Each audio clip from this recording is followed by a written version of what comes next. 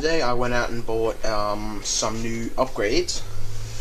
My computer, as you can see, I bought the i3. Let me see. Sorry, 2130. The socket LGA 1155.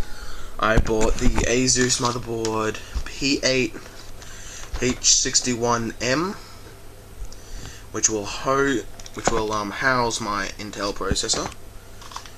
You might be thinking, i3, what the hell are you doing about? But I had a budget, a pretty tight budget actually. Um, that's all I had. That's all I could get. Sorry. It's a big improvement over my um my Intel Pentium that I got right now. So it's it's alright. Alright. Um, the the component. Oh, it's uh, and I'm getting oh, four gigabytes of NCP Platinum. I don't know what speed. I know it's DDR3, but I'm no don't not sure. I'm not sure what speed it is. Um, to be honest with you, it doesn't say anywhere. But yeah, that is the components we will be housing, housing, housing them in this. Yep, that's old. That's why I needed to get this upgrade and the tangle little things over there. Um, that's the actual that is the actual um, case and stuff we're putting it. We're keeping the everything else except for the CPU, CPU cooler, motherboard, and RAM. Obviously, this DDR2 RAM will not fit in our new motherboard because it's DDR3 motherboard, so we will be swapping them out. But we're keeping the um, the graphics card because we do not have enough money yet um, for a new one. Uh, I'll probably just do snippets. I probably won't do all the long, boring parts. If this is too long, just bear with me. It might be like 15 minutes. But, yeah. Okay, um, so I have this, uh, my old computer propped up onto my desk. Um, uh, what you have to do with this is you have to, actually it's too dark there, sorry. What you have to do to take the motherboard out is you have you have screws. Oh, I'm sorry about this, guys.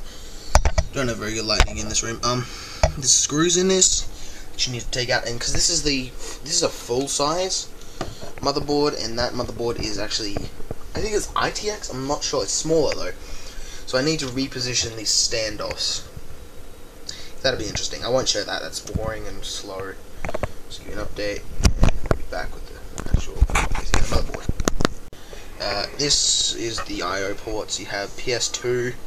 They're not connected keyboard and mouse. They're just separate keyboard. I don't know which one's which. I don't use PS2.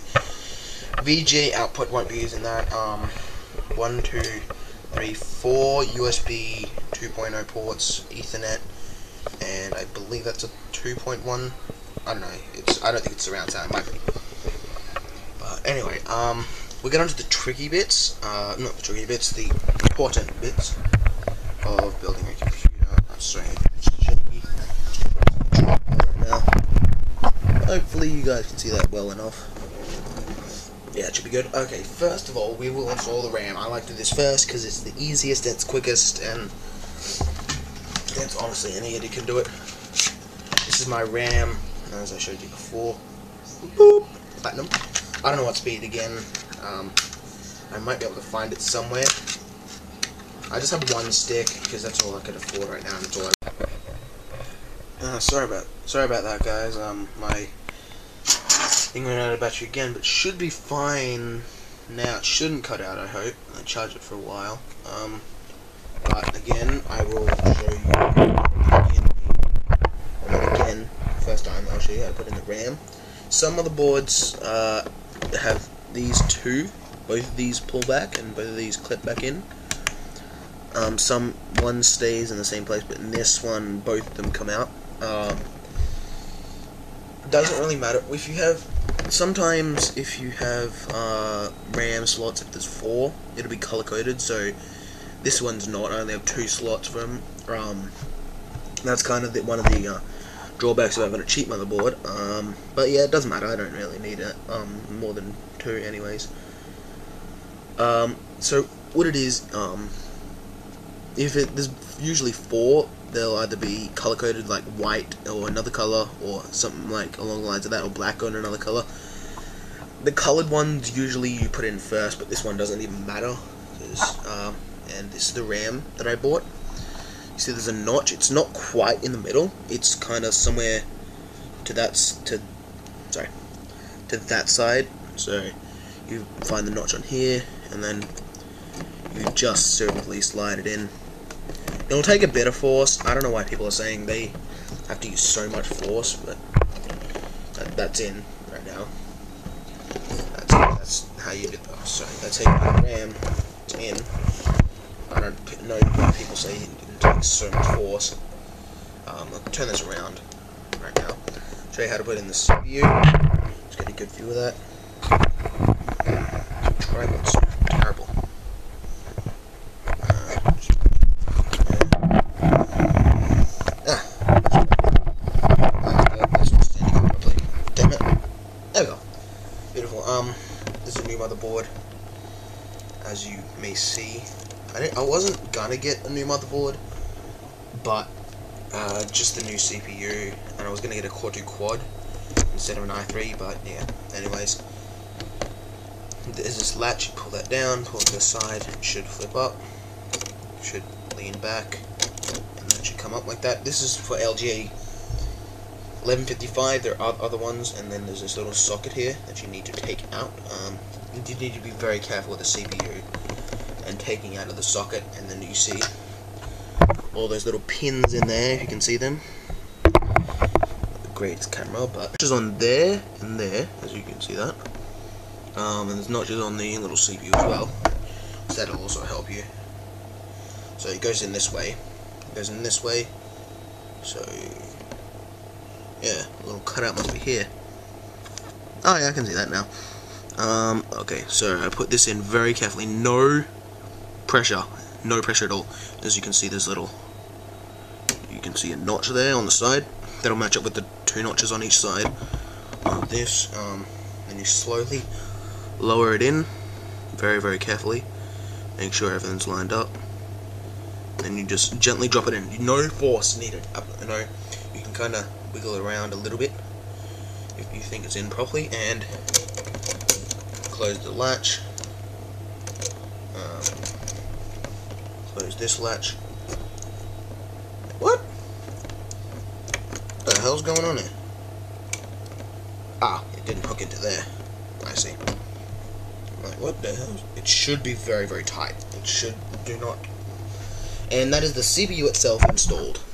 Um, now, what I'll do is I'll get this cooler out. The motherboard, everything in. I've got the standoffs, but I haven't screwed them in yet. But screwing them in, you just have these screws and you screw them into the designated holes. Really not a big deal. I do that off camera. I just thought I'd show it in the case. It's a very big case compared to the motherboard. Um, the other one was, this motherboard is very small actually. Very small. I'm not used to it. Um, but yeah, that's my new motherboard. I've cleaned up some of the dust around here. I wish I had the blower, but I do not. Um, I'll have everything, I'll have it all thing. I'll have all the wires hooked up into it, hopefully, um, and then I'll give you an update and we'll see if it works. Okay, um, okay.